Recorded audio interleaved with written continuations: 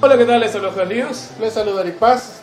y bienvenidos a... No, a nada, vamos a dar nuestras impresiones. Unas impresiones de la Uncovered Final Fantasy XV que fue ayer a las 9 de la noche hora peruana en el- un teatro interesante de San Francisco, un teatro bien grande, ¿no? Para hacer Para- una presentación. un poco previo de lo que hablábamos con Eric antes de la conferencia es de que de verdad nos daba mucha duda, ¿no? Oye, Final Fantasy, o sea, Square Enix se está gastando llevar a toda la prensa, los invitados, el teatro, que era un teatro enorme, o sea, tranquilamente pudo ser el teatro para su conferencia L3. Claro, Este- justo hablando ayer con alguien, este, pues, no, oye, pero es un Final Fantasy, es un producto neto, neto de Square Enix. Ahorita Square Enix, ¿qué es lo que está haciendo? Tiene Life is Strange, tiene... O sea, tiene un montón de juegos que, podría haber metido ahí también, Claro, ¿no? pero Star es Ocean, que también va a salir. Claro, pero este es un cariño, cariño especial porque es Final Fantasy, o sea, la, la saga netamente de Square, o de Square Enix.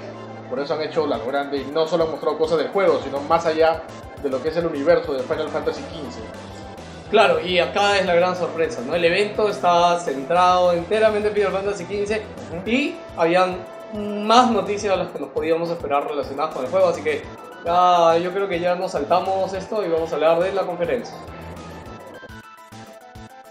La sorpresa más grande, bueno, nadie se lo esperaba apenas empezó el, evento, era ver a Hironobu Sakaguchi, creador de Final Fantasy, en teatro, en, en plena presentación de Final Fantasy XV. O sea, nadie se lo esperaba. O sea, yo sentí una especie de Steve Jobs regresa a Apple, no sé, una cosa así. Es que es una locura para los que somos... Exactamente. Primero, si no eres fan de Final Fantasy, no sé qué haces viendo esto, vamos a hacer un resumen, pero nosotros somos muy fans de Final Fantasy, los dos. Hironobu Sakaguchi es la persona dorada, es, creo que es el icono más grande de Square Enix. Claro, es Le han dado en la Gamescom del año pasado, le dieron un premio a su carrera. Este, y nada, de verdad, o sea, ya hace tiempo no está en Square Enix, ya tiene su compañía indie chiquita. claro, él se separó por diversos problemas y todo eso. Aparte que el, Ya tenía un montón de tiempo. el señor aparte es bien tradicionalista, es japonés neto y no quería esto de las fusiones, Square Enix, y ya pues fue. Bueno, pero increíble verlo en el escenario, que ser la primera persona que habló en la conferencia diciendo que tenía toda la, la, la fe del mundo, que había hablado con el director del juego y dejó sentenciado de que este es un inicio de Final Fantasy sus raíces. Y que al- algo muy importante que dijo y que siento que ha visto algo en el juego es que él nunca, cuando y trabajó en Final Fantasy, él nunca se quedó contento con lo que ya había hecho Final Fantasy y siempre buscaba ir más allá. Y yo creo que con todo lo que han mostrado ayer, nos está demostrando que, verdad, Final Fantasy XV está yendo más allá. Está prometiendo bastante, o sea, ya hemos visto los trailers y todo eso, y bueno, también son 10 años, ¿no? Pues, o sea, no, en realidad lo que estábamos hablando, el primer tráiler de este juego salió hace 10 años, pero el juego, o sea, debe tener en preparativos 13, 15 años, porque, o sea, para el primer tráiler ya tiene que haber un trabajo previo, ¿no? Claro, hay que sacar la cuenta, pues estos juegos se anunció previamente cuando salió Final Fantasy XIII, en esta especie de compendio que se llamaba Fabula Nova Crystallis, donde también estaba Final Fantasy Type Zero, en ese tiempo se llamaba Hito, Hito 13, Sí. y el Final Fantasy XV se llamaba Final Fantasy Versus 13. Finalmente se separó de esta, de esta antología para llamarse Final Fantasy XV. Bueno, y nada más, ¿no?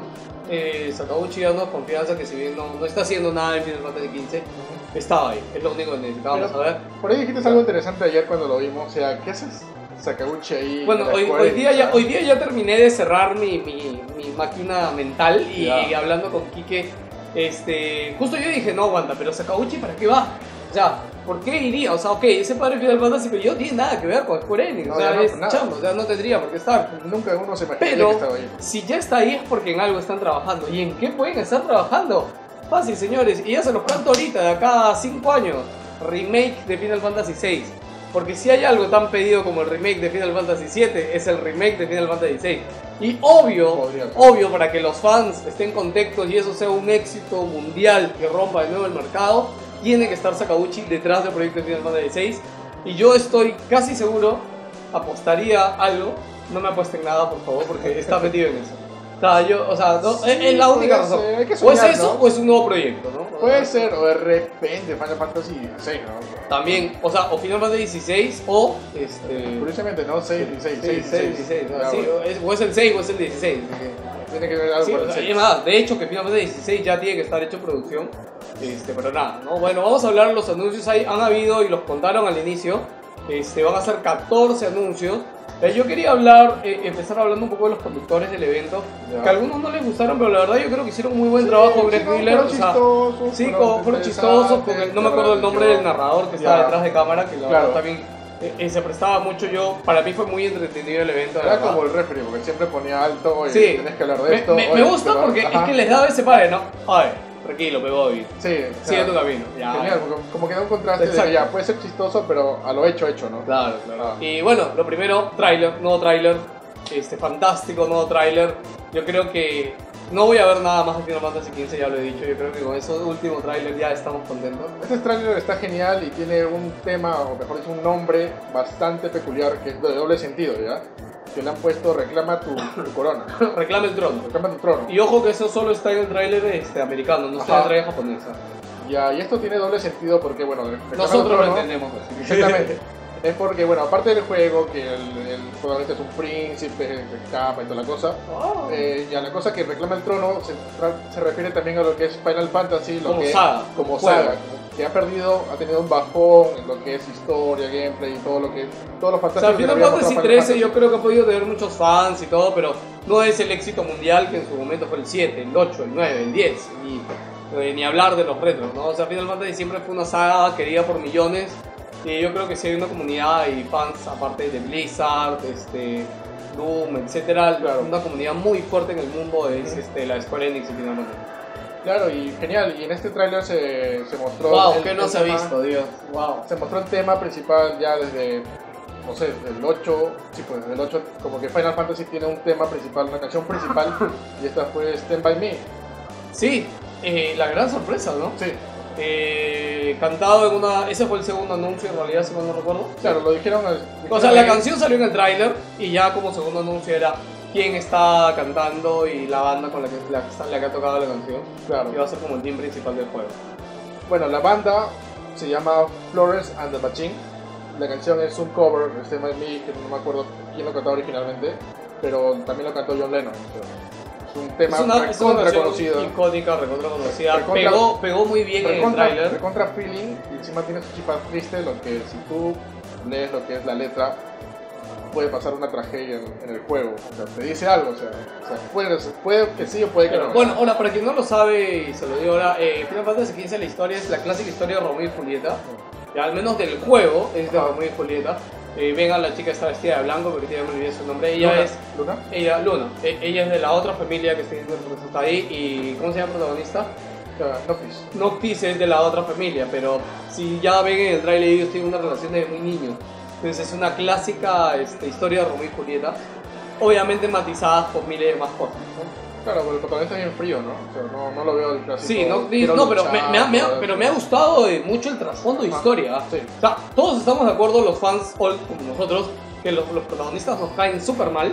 ¿ya? O sea, arte, cómo están vestidos, son los Backstreet Boys. Sí, Ok, pero el trasfondo que hay en la historia, cómo le están este, narrando gráficamente, cómo se ve, las escenas, este, vemos a Luna con, este, con Leviatán ahí invocado al frente, Dios Ajá. mío, esa escena en la ciudad, yo, yo no sé qué, qué, qué va a pasar. y, Es un este, cuando está fuera de la ciudad, cuando empieza el tráiler y está Ajá. hablando por el celular, Noctis, este, la actuación, todo está muy bien, o sea, todo está demasiado bien planteado, o sea, si tenía alguna duda con, con, con este Final Fantasy, yo creo que si los personajes no nos gustan la historia, parece que va a estar a la altura y, y si hay algo que, que esperamos de un Final Fantasy es una excelente historia. Sí, de algún modo u otro se nos tiene que llamar la atención. O sea, creo que sacando la cuenta, este es el juego que ha tenido bastante más trailers en todo.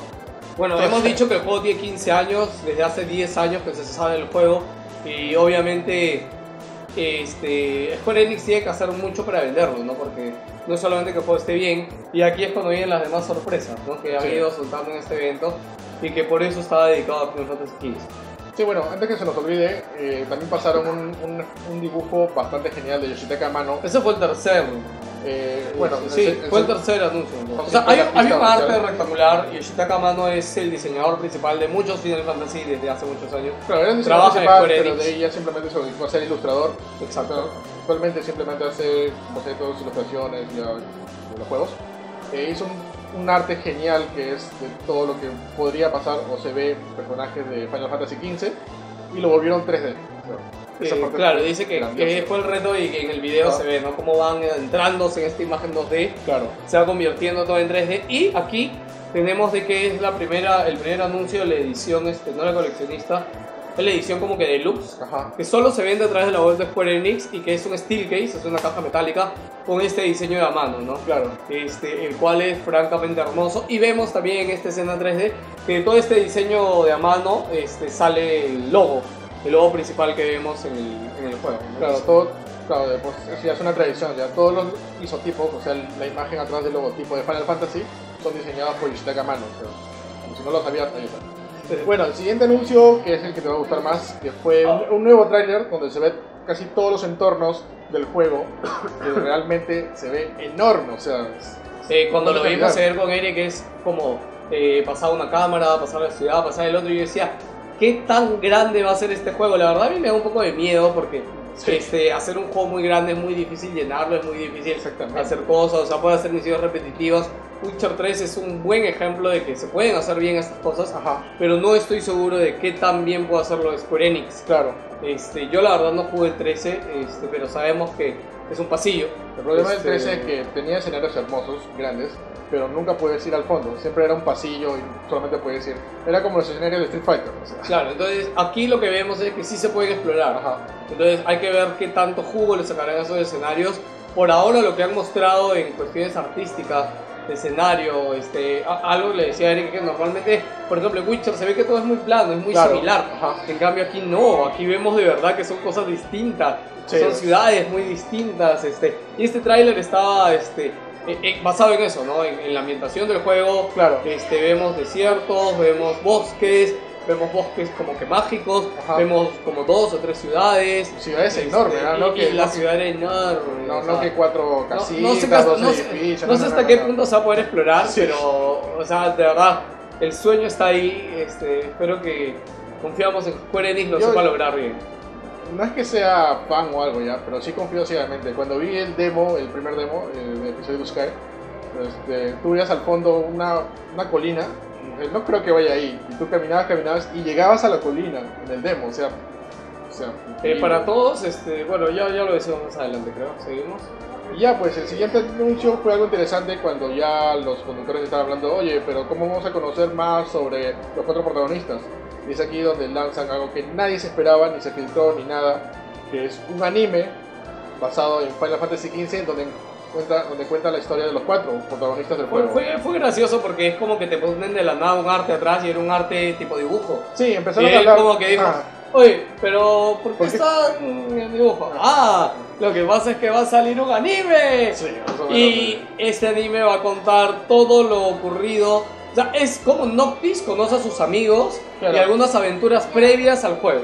Claro, eso es lo que, retomando lo que dijiste hace rato de los Backstreet Boys, creo que es una manera de que Square Enix tenga una, una forma de cómo, eh, Cómo enganchar a la cómo enganchar gente. a la gente con estos protagonistas. O sea, bastante bien. bastante Bueno, bien aparte logrado. sabemos que Final Fantasy es un hit en Japón.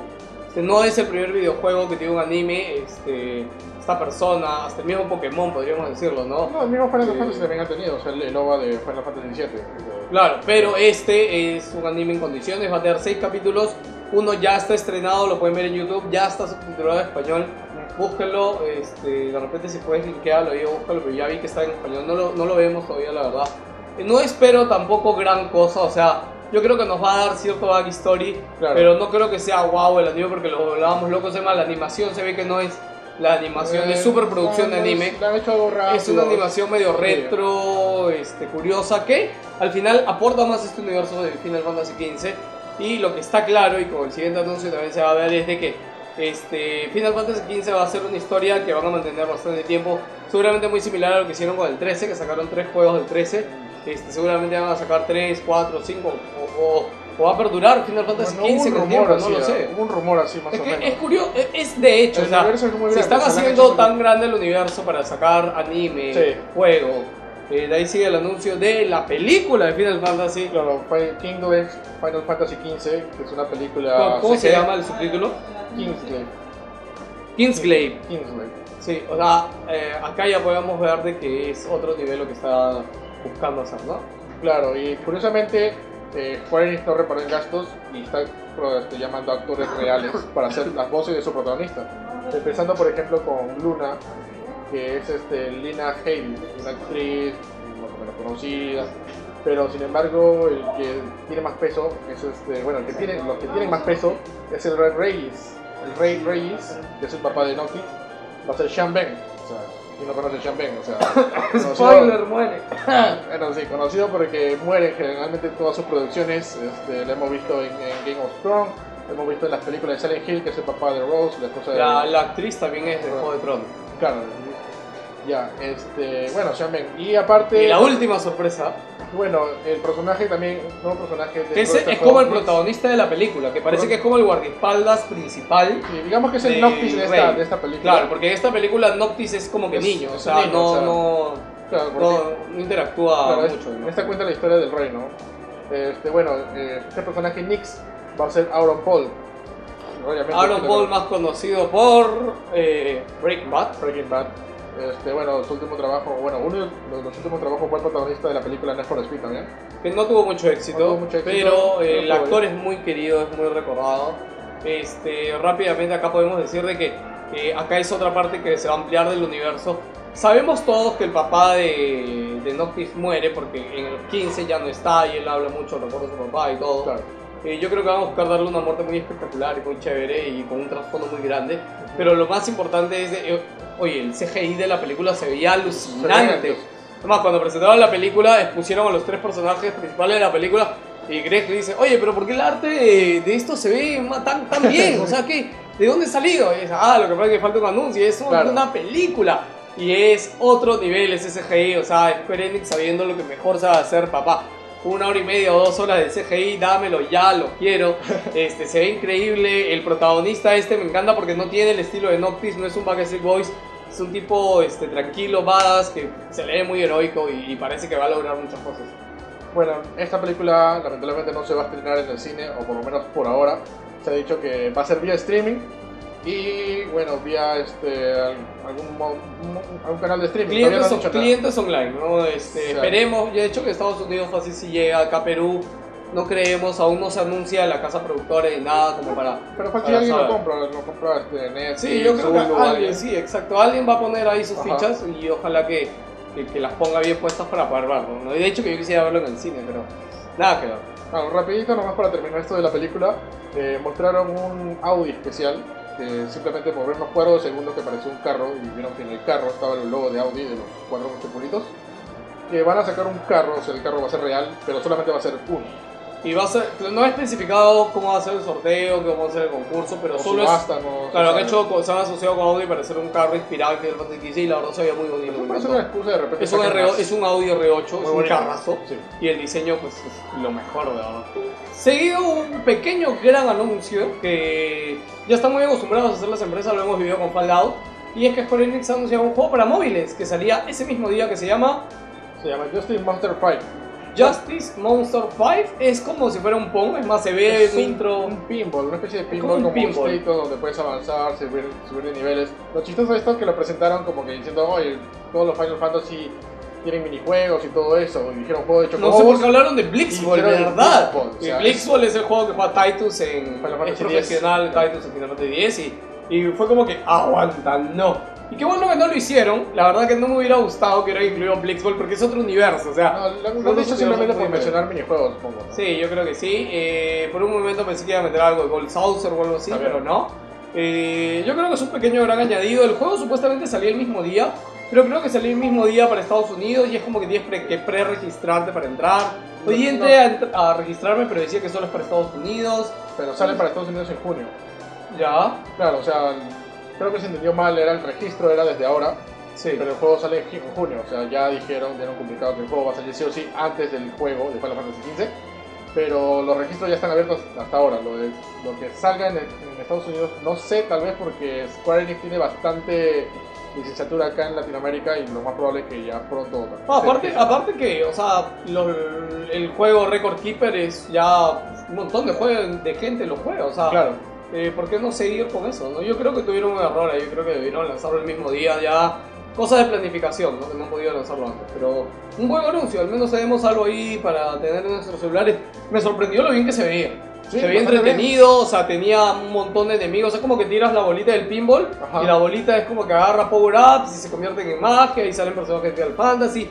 Los Claro. enemigos son enemigos de Final Fantasy, o sea, es, es totalmente el universo de Final Fantasy y se agradece, de verdad. Claro, creo que habían dos monstruos, no, este, dos humanos y, y de ahí el resto eran monstruos. Sí, no, no se vio mucho ni Eh, explicaron mucho tampoco, pero Sí, los diseños se ven bastante bien, este, el juego cae perfecto en un celular, puedes jugar, seguir expandiéndote con el universo de Final Fantasy XV y está disponible para iOS, Android y Windows 10. Sí, dijeron Windows 10 también. Sí. Y después el siguiente gran anuncio, bueno, fue algo que obviamente ya se había filtrado también, que era la nueva demo, el Platinum Demo, un Final Fantasy Pero no habían dicho que iba a salir ese día. Eh, Ah. No, es claro, iba, iba eso todavía. Este, nada, dijeron, hablaron un poco de la demo, todo lo que se podía ver, que era parte también, más que demo, era un poco más para conocer el universo de Final Fantasy XV, mostrando a un Noctis pequeño en una especie de mundo de sueño, porque todo pasa en un sueño. Se ven en el intro del juego, del demo, ves a Noctis que está durmiendo y la mano del papá le habla. Que por cierto, la voz del papá no es Sean, este. Sí, eso es algo, ¿verdad? Ah. Que iba a decir que sí me va a quitar un poco. Sí, Que es que, o sea, Sean Penn es la voz del papá de Noctis en la película, pero no en el juego. ajá. Entonces eso nos va a desencajar un poquito. ¿no? Imagino que pues, habría costado más caro contratar a Ben para Claro. todo el juego, que imagino serán mínimo sus 50 horas. Mínimo. Pero bueno, este, el demo, terminando el demo y terminando de hablar de lo que es, lo que se ve en el juego, que prácticamente varios escenarios del mismo, eh, dijeron el demo está disponible desde ahora.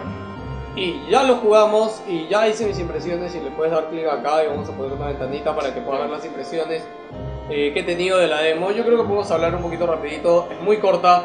Si quieren de verdad, yo lo, lo puse en las impresiones, Square Enix tiene que esforzarse y hacer una mejor demo para que la gente entienda el juego. Claro, por ejemplo, a mí tampoco no me gustó el demo, me decepcionó porque, ¿por qué? Porque justo antes de bajar el demo, yo me puse a jugar el anterior, el episodio de Sky. Blue Sky, en donde te muestra un, un- un mapa amplio, puedes explorar, te enfrentas a voces Es juego, enormes es el juego tal cual, es una Eh, pita del juego. e invoques a Eon, o sea, excelente, o sea, francamente genial. Yo esperaba algo parecido Claro. a lo... En realidad, ojalá, yo creo que lo que deberían hacer sería terminar de arreglar la demo de Sky, volverlo a actualizar con lo último de esta demo y eso lanzarlo para la gente, porque esa es mucho mejor demo interpretación de lo que puedes hacer en Final Fantasy. Verdad, El primer demo no está disponible para No, todos, no está disponible. El primer demo, el Sky, el episodio de Sky, solo se puede acceder Sí. con el código que viene dentro del Final Fantasy Type 0 que salió para Play 4. Type Nada 0 más. HD, claro. No ha salido todavía en modo abierto. Es más, yo para buscar el demo de, de Sí, que- el, el Platinum Demo, tenía que poner, simplemente puse 15 en el buscador de PlayStation. Yo también hice lo mismo, XV. Eh, y 15 salía. porque ponías Final Fantasy tenía, salía otra cosa y, y Pongan Final- XV y ahí este, les va a salir en una... O sea, le das al Final 15, entran en Final 15 y dice trae demo. trae el demo Y esa es la demo. Y muy mal también eso. Eh, Sí, bueno, el demo muy corto, este, gráficamente No es nada de lo que... eh, Episodio de Sky se ve mucho mejor que esa es, demo. otro mundo, es otra cosa. Aparte que el gameplay se fue bastante simplificado, o sea, en, en el episodio de Sky puedes ver hacer un montón de cosas. Claro, como acá te enfrentas enemigos que no te hacen nada No. y después te ponen al jefe. El jefe sí, el jefe me gustó. Sea, la primera vez que es fácil, la segunda vez. Sí, pero bueno, como le digo, acá tienen impresiones y por ahí pueden verlos más. Y Eric va a hacer un artículo también en el blog con sus impresiones escritas en el blog de Más Gamer, que seguro lo pueden encontrar mañana. Ah, Exactamente. Y bueno, después de eso ya bueno, ya estaban terminando, como estábamos, como dijimos al inicio, fueron 14 anuncios. ¿Qué pasó? Ah, estaban terminando. Ah, ya. fueron 14 anuncios, muy bonito porque eran son 14 juegos de Final Fantasy que han salido. Claro. Hicieron cada anuncio por 14. No me había dado cuenta que era eso. ¿No te das cuenta de No me eso? había dado cuenta, no me había dado cuenta. 14 anuncios, yo Te lo 15. te lo dije ayer. No, no te escuché, no, me acabo de dar Tú pensabas que eran 24, eran 50, no, te dije Yo no sé por qué yo 50, en, en inglés escuché otra cosa. no, eran 14 porque era 20, 14 del juego. Y bien bonito, porque justo el oh. primero fue Sakaguchi. Ya. y ya pues el, el aviso número 13 o 14 que me acuerdo. 13. Hubiéramos hecho como un topo. Sí, 13. Pero las ediciones que obviamente iba a tener este Final Fantasy XV son dos ediciones, Daiwan y Deluxe y Ultimate Collision. Ultimate Collector, no, Ultimate Collector, que el Ultimate Collector han salido solamente 30.000 unidades. Y ya se agotaron. Que Akanga ya reservó una, ah, supuestamente. Bueno, también una amiga, también cosplayer conocida, también reservó otro. Este, y bueno, bastante bien. Decimos de lo que viene. Sí, yo creo que sí, está detallado. Sí, tenemos el Noven- live. noven- ah, por si acaso, si alguno la quiere, todavía hay la, ¿Day la? Deluxe, todavía hay, la Deluxe que es la que viene con el Steel Case. Imagino que el Day y One el también. soundtrack, no, el Day One, o sea, el Day One es solamente el juego. El juego con un DLC, Ah, creo. O sea, la, la que vale ahí es este, la, la Deluxe, que Ajá. viene con un Steel Case, viene con el soundtrack, viene con el juego. Ya. Y algunos DLCs exclusivos, algo más me estoy Bueno, olvidando. entonces está de más mencionado de One. Claro, Ya, esa es la, la deluxe, está a 90 dólares, por si acaso solo se puede conseguir en la web de Square Enix, Ujú. no, no hay otro sitio donde Bueno, aparte de eso, viene con los DLC, ¿no? The Royal Rayman, el arma Mazume y el color platino Leviathan para el coche. Muy bien. Un color para el coche, un skin para el coche. Claro. Bueno, el Steelbook ilustrado del Shintaka Mano, que ya lo vimos hace rato. Y bueno, la edición más suculenta, por así decirlo, es la Ultimate Collector Edition. Que, bueno, te viene el juego, obviamente, un Ste- Steelbook exclusiva, o sea, va a ser diferente a la, la que mencionamos. Un Blu-ray disc de la película King's Blade Final Fantasy XV. El Blu-ray disc con todo el contenido de Final Fantasy XV, o sea, el anime, son los seis episodios, incluyendo el sexto. Ah, mira, mira incluyendo Ah, el sexto. el que es- sexto sale antes, justo no, con el es- juego. no, mira, es incluyendo el sexto que es inédito, o sea, solamente lo Claro. vas a poder ver ahí. No, pero te lo, lo No, van a ya, subir, ya. lo van a subir porque Déjame soñar, eso, eso ya, conecta, conecta con el Claro. juego. Ya, una edición especial de la banda sonora con pistas musicales de todo el universo de Final Fantasy XV.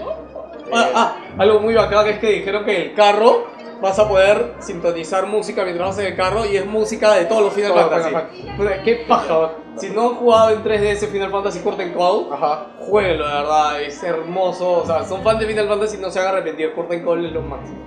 Bueno, esto también, una figura de Player Sky exclusiva de Noptix. Un libro de ilustraciones de tapa dura de 192 páginas. De a mano. Bueno, y también contenido extra en forma de DLC, que es el traje Royal, Royal Raven, el arma Mazumet y el color platino Leviathan para el coche, que eso también viene en la anterior edición. Y packs de objetos en el, en el juego, pack de viaje, kit de cámaras, set de pescador, pack cos- cositas interesantes que... Pequeño ya- DLC dentro del juego. Bastante bien estas ediciones, o sea... Lo que yo estoy renegando es que esta Collector Edition no le han puesto el Steel Case de a mano, que es el diseño de a mano. Este, tiene dos Steel Case esta edición y los dos son de los cuatro Backstreet Boys que odiamos. ¿Por qué? No sé, pero sospecho que un día lo Yo vas a querer. voy- voy a abrir un change.org, los odio. Eh, con esto quiero mandarles un mensaje de una vez aprovecho a los all fans de Final Fantasy. Personalmente, igual que yo ya dijimos Eric también, los protagonistas no nos caen. Siempre yo creo que Square Enix está haciendo lo suficiente para hacer de este un gran juego, que sea un Final Fantasy que revolucione las cosas en, en muchos sentidos. Eh, la, la batalla está, está, parece que está bien, en el último demo al menos con el jefe se, se saboreó una, una distinta batalla. Y este. Y por más que odien los protagonistas, que son unos pinches Backstreet Boys, parece que la historia de fondo va a estar muy chévere. Así que confiemos en eso y yo, yo estoy seguro que, que sí se va a dar. O sea, que sí va a ser. O sea, con lo de ayer ya me han vendido todo ya. O sea, no, no puedo esperar nada más. Sí, que viene arriesgado, ¿no? o sea, nunca hemos visto Final Fantasy con cuatro protagonistas ya directos, o sea, siempre hemos visto otras razas, mujeres, hombres, mezclados, este, enanos, elfos, lo que sea. Pero son cuatro hombres, parece que todo el juego va a ser así. Ah, eh, hay una pequeña escena en el tráiler que se ve dentro del carro que hay una chica sentada en el medio de los cuatro. Sí, ayer lo vi en Nivaf, estuve leyendo y mirando cosas, este, y justo pedí el pata como que teorías, quién será esta placa. Así que parece que vamos a tener también como que gente aleatoria en nuestro party de momento. Claro, y bueno, el último anuncio, ya para terminar este, la presentación, era algo que ya se había revelado gracias a la Maldito leak, maldito, los odio. Eh, maldito leak ¿Fue Eh, IGN o fue GameSpot? No, ¿Qué fue GameSpot que y supuestamente por un descuido subieron sus notas diarias, como normalmente suben sus, sus, noticias los, este, por vía YouTube, que en una de ellas decía eh, la fecha de lanzamiento, que era 30 de septiembre. O sea, la gente estaba en dudas, no sé, tal vez todo eso. Sin embargo, sí era 30 de septiembre, les arruinaron la sorpresa porque lo hicieron de una manera muy nostálgica, muy bonita, como, como lo anunciaron. el 30 de Había, ¿no? había un botón desde Ajá. el inicio de la conferencia y dijeron que ese botón iba a revelar la fecha. Hicieron toda la gracia igual, la verdad. Yo creo que ese sí fue un leak, leak.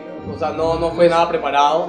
Este, de- se dice y se rumoraba que Square Enix está demandando a, Sí, no, y Este, por IGN un, fue. un millón de dólares. No, este, Game, GameSpot. GameSpot. GameSpot. Este, porque eso les repercute bastante, porque ellos han hecho este tremendo evento montón de dinero Que era básicamente para para eso. anunciar la fecha con ganas.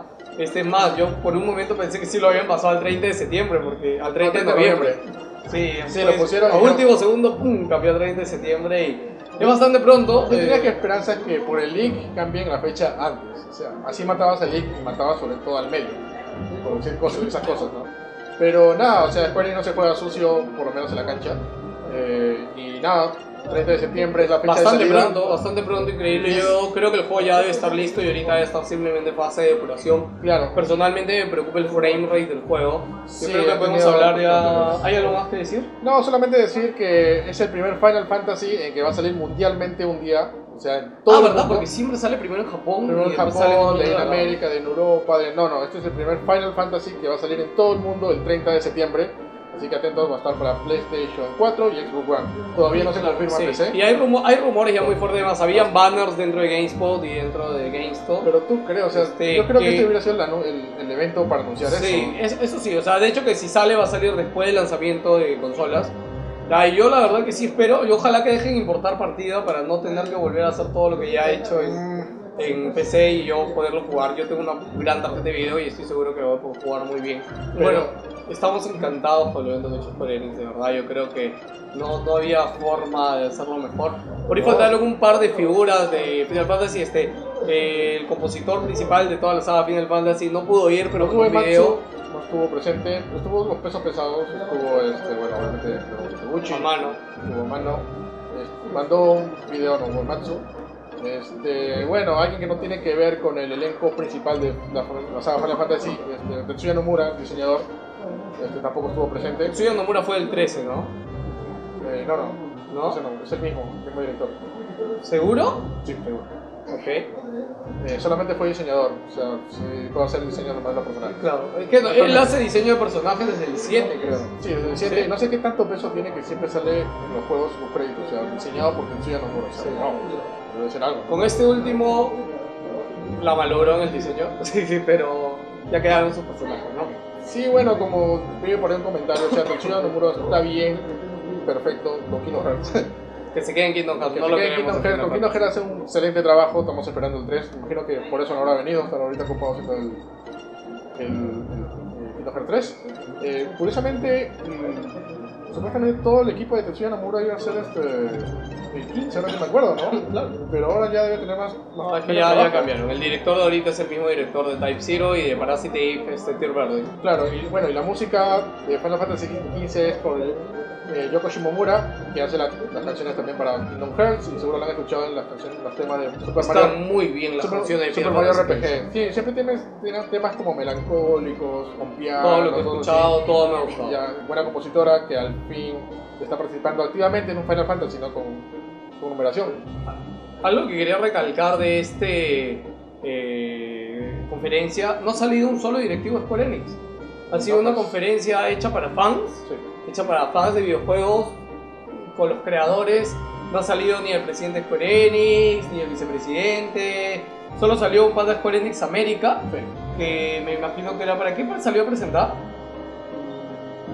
Bueno, no recuerdo puntualmente, pero... ¿Demo? No, no, las ediciones. Ah. Para la- las ediciones del juego fue que salió. Que la verdad muy bien, pero me, me alegra que haya sido esto centrado para fans. En el pre-show también estuvieron muchas personalidades de internet, hubieron varios cosplayers. Ahí fue cuando entendí que a los jóvenes ahora sí les gustan estos personajes. Me cuenta que estos personajes no van con nosotros viejos, pero a los chivolos creo que sí les encanta. Bueno, y al final, a pesar de que no salían los anuncios, mostraron un nuevo tráiler, que era el tráiler japonés, no el tráiler americano. Sí. Y en este tráiler japonés era muy similar, tenía muchas escenitas que sí eran diferentes. Ajá. Eh, pero este, al final terminaba con que era un, nuevo- un otro diseño de carro y el carro obviamente volaba. Este, Eso fue bien quemado, de verdad. Sí, fue. No, no sé qué tan bien o mal sea. No sé, me recordó el final de Gris, una cosa así. en serio. No, o te- es el final de Gris, No ¿verdad? tenía sentido, o sea, sí, no tenía sentido. O sea, estaba bien toda la conferencia, todo bonito. Ya, y al final, lo- muchachos, ¿qué le metemos al final? Ya, que el carro huele. Final Fantasy es muy conocido por tener cosas que vuelan, eh, barcos voladores, aviones. Siempre Final Fantasy un nivel alto es como que ya tienes el esto para volar y ir rápido a todos lados. Pero no me, no me, no me, no me cortes el hype, no me digas que ese carro va a ser la supernave que hemos visto en todos los Final Fantasy. Exacto. No, no, no, no, no, puede ser la no, supernave. no, no, no, no Ok, puede ser. Tiene que haber una Sí. supernave. Ah. Bueno, ok. Este... Ah, algo chévere que vimos en el tráiler fue a Sid. O sea, un Sid viejo. No la, la que nos insulta, la, la, pechugo- la, las Sí. pechudas. Cindy, Cindy. Ya, esa no es, bueno, sí es la Sid del juego, pero vemos que también hay un Sid, como lo hemos visto en todos los Final Fantasy, viejo, arrugado, mecánico y que nos va a dar, parece Y cosas. esperemos que sea el que nos va a dar el verdadero armatoste que huele en todo ese, ese mundo. Sí. Sí, el que, Cindy nos va a hacer, nos va a cambiar el aceite y el otro nos va a dar la nave. Exactamente, esperemos que sea así. Y bueno, o sea, que bien, o sea, todos estábamos felices con la presentación de ayer, eh, bastante hipeados, fuimos corriendo a nuestras casas Sí, a... con, con Eri le dijimos, nosotros estuvimos en la conferencia de, de PlayStation en el E3, este, mirando el lanzamiento de Final Fantasy VII y creo que lo que faltó en esa conferencia de Final Fantasy VII fue que su líder era Sakaguchi y me dio gusto verlo y, y me, me dio esa, esa emoción, o sea, el, el- para los fans de Final Fantasy la conferencia de ayer ha sido taquicardia tras taquicardia tras Sí, o sea, taquicardia tras momento dije, ya no Ah, más, ya, ya, no, ya, ya, yo de verdad ya, ya no daba ya. Los que me conocen o no me conocen me pensarán que soy exagerado, pero la verdad es que cuando uno es tan fan de algo, es tan fan de una franquicia, de una empresa, así te llena, la verdad, y es alucinante y ojalá que tenga para muchos años más Square Enix, de verdad. Claro, y no se trata de que pucha, la saga ya murió, que ya no hace lo mismo, o sea, siempre hay que dar la oportunidad de nuevas sagas, o sea, pueden sorprendernos, ¿no? Esto es un Final Fantasy que ha tomado más de 10 años de desarrollo y algo bueno tiene que salir de esto, o sea, obviamente, todo lo que están preparando, o sea, todo lo que se está mostrando, todo este universo que nos están mostrando con Final Fantasy XV, algo tiene que valer la pena, ¿no? Eso espero. Bueno, señores, eso ha sido todo con este video. No se olviden de chequear, en el, seguramente en la descripción dejarán los links de los otros videos, de las impresiones de la demo y de toda la demo que también le hemos jugado y ahí pueden ver un poquito cómo la pasé, cómo sufrí con el final. Se despide House espero que les haya gustado, no olviden pasarse por másgamers.com, por el fanpage, este, Facebook barra másgamers. Eh, viene el evento, viene Más Gamer Festival, viene la voz de Mario, que ya lo vamos a anunciar más tarde, o de repente antes después del video, de hecho que después, pero antes, perdón, pero Charles Martinet va a estar sábado y domingo en el evento. Muchos tenían la duda si iba a estar un día, bueno, tranquilos, va a estar sábado y domingo, ya que son los, los mayores días. Este, as- asegúrense con sus entradas. Las entradas ya están a la venta aquí en Más Gamer Store, en un par de semanas van a estar en Teleticket. Las entradas en precio de preventa están 25 soles, la de cualquiera de los días, 65 soles los tres días. Y eh, tiene una oferta también que se llaman unos amigos a 20 soles, pueden verlos en el fanpage. ¿Algo más que me esté olvidando, Eric? ¿No? ¿Todo está bien? Anunciamos torneo de Hearthstone, este, ya entró en MSI, entró a Data, pero un montón de marcas, de verdad estamos trabajando muy duro para que este. Tech Festival sea mejor que el anterior, estamos en un sitio mucho más grande y entendemos, sabemos que muchos en el último evento la mayor que tuvimos fue el espacio, estoy seguro que ahora va a sobrar espacio que me falta. Así es. Bueno, se despide Eric Paz y nos vemos en una próxima ocasión. ¡Chao!